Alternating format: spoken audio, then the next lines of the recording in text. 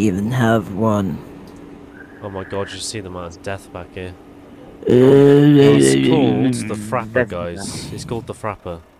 Well, I've got a feeling this guy is You alright? one from last time. Fusion He's a- logistics. He's a guy from last time.